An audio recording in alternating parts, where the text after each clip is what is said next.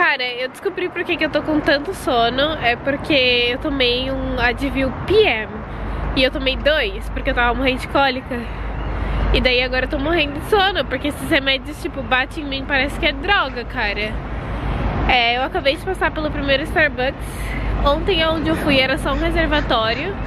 É isso que eu acabei de mostrar pra vocês, é um Starbucks de verdade. Tava bem vazio hoje, of course, tipo, é uma quarta-feira e é meio-dia. Enfim, tô andando pro outros lugares.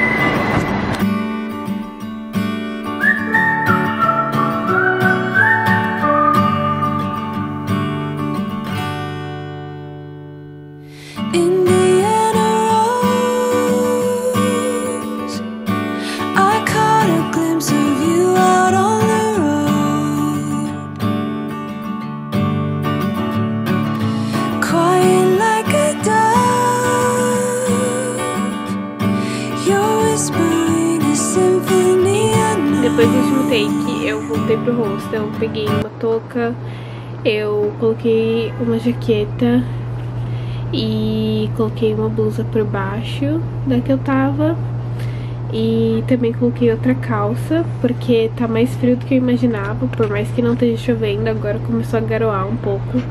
É, tá, aqui venta bastante também, tipo, parece que é Nova York.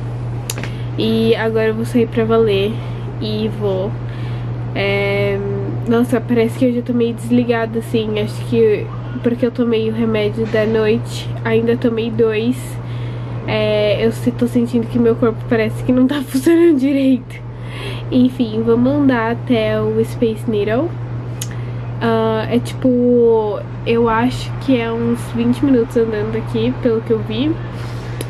E é isso aí, bora pra lá.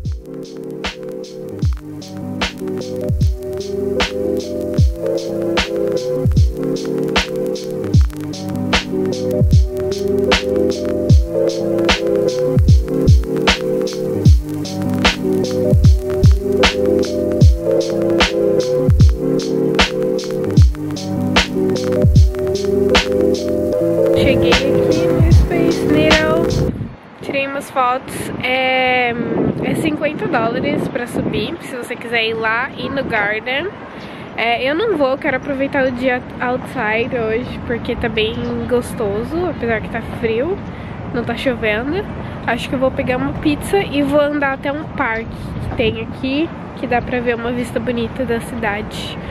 E é isso aí. Eu acho que a melhor coisa pra fazer se você realmente gosta dos museus e tal é comprar o City Pass da cidade, porque é sempre mais barato, dá um desconto bacana. E é isso aí.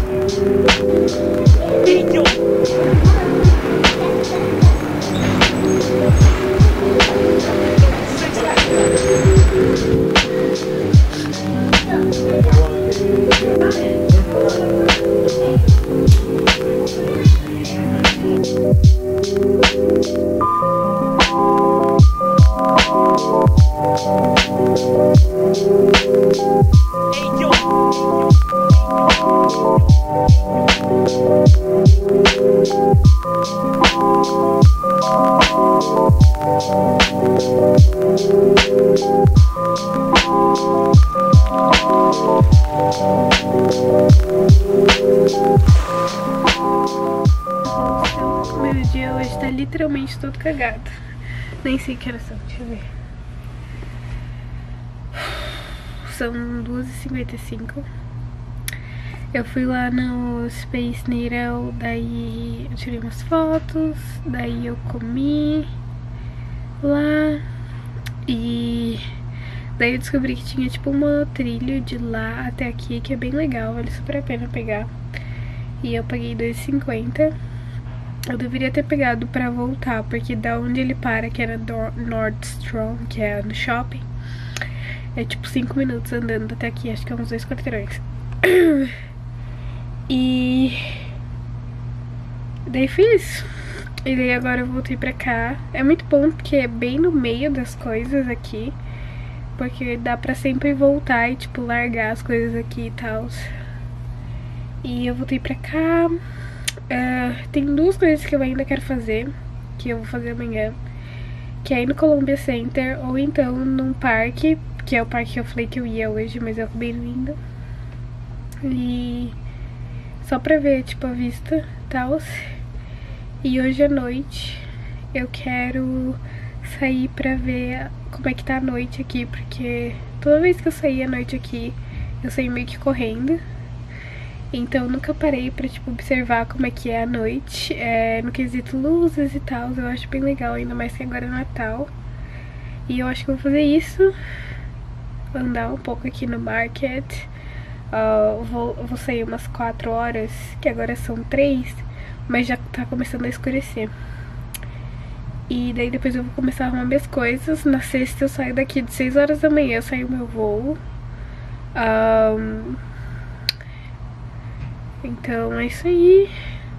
A gente se fala mais tarde, vou descansar que eu tô com bastante cólica e cansada. E é isso.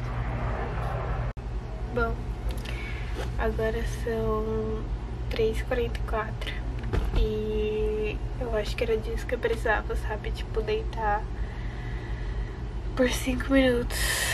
Tô me sentindo bem melhor. Mas agora eu tô com vontade de tomar um ar lá fora preciso tomar água. E é isso que a gente vai fazer. Ainda tá claro. Tipo, não tá escuro assim noite.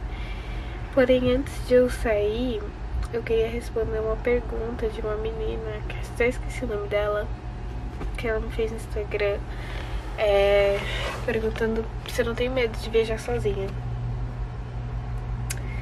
E Sim, eu tenho.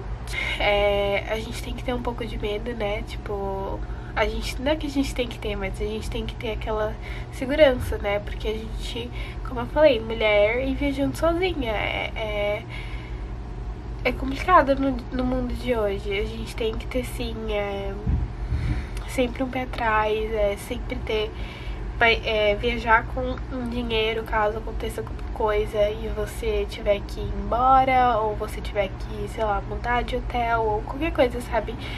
Um,